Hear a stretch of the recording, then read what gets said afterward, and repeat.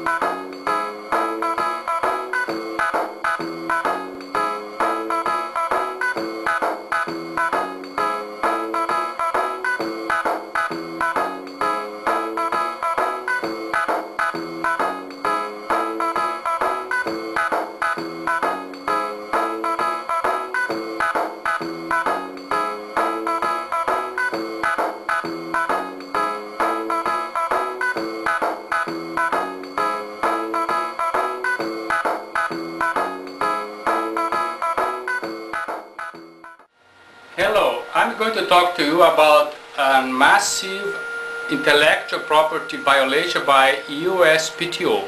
This is very easy to understand. We have here about WikiWiki. What is WikiWiki? Wiki Wiki is a device to transfer fluid toward a lamp. It has uh, it has compliance of uh, hydrodynamics and thermodynamics. I'm going to show you because this is an expression that everybody must know about. So when you have an oil lamp or a candle, you see, you start this, so you have this device working. And then you have here fire and you have fluid moving, you see, you have temperature. So what happens is that when, the, uh, when you go to the patenting system, there are 21,945 patents talking about WikiWiki. And uh, WikiWiki plus capillary, capillary or capillarity is 94,000 patents. So, but the problem is I have three patents. You see here my three patents. We have USPTO, there are three patents.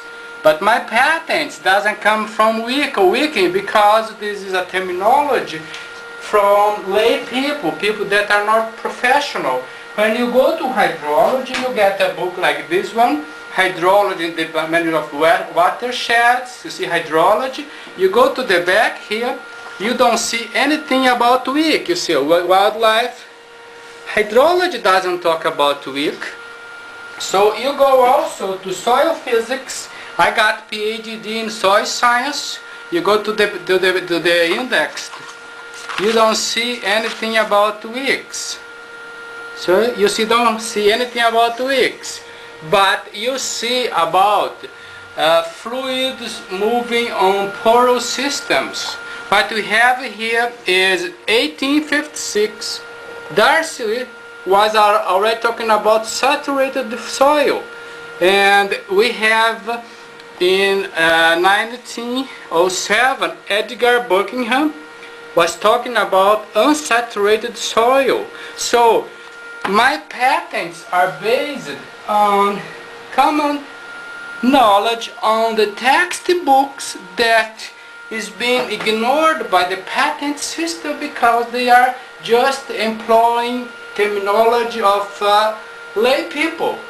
And I'm demanding USPTO to cancel thousands of patents and get and respect common knowledge from the uh, textbooks because those expressions are near 100 years. So wick wicking were not supposed to be in the patents unless for the functioning or oil lamp. When they are talking about oil lamps, you can talk about wick or wicking.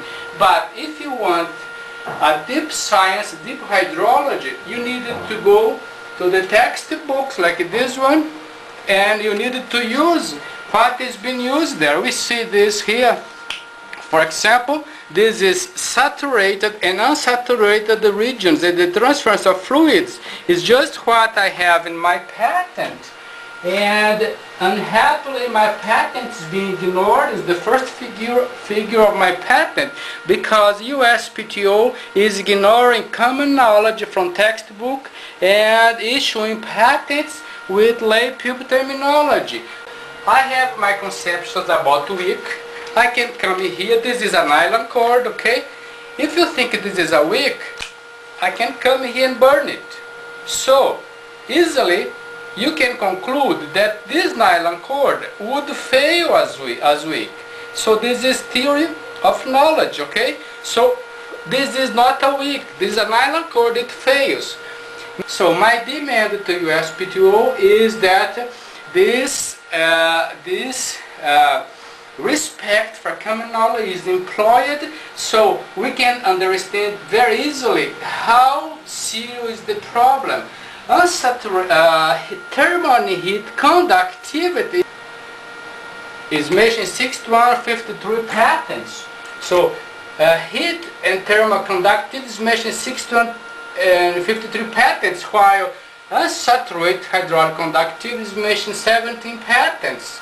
So I'm demanding the USPTO to cancel, uh, I don't know, 10, 20,000 patents or even more. So stop using terminology of lay people and starting respecting the hydrological conceptions in the books, okay? So when this is going to be used and uh, canceling the patent, it will have an uh, option for me and for everybody that is in hydrology to use terminology 100 years old, okay? Thanks for attention, bye-bye.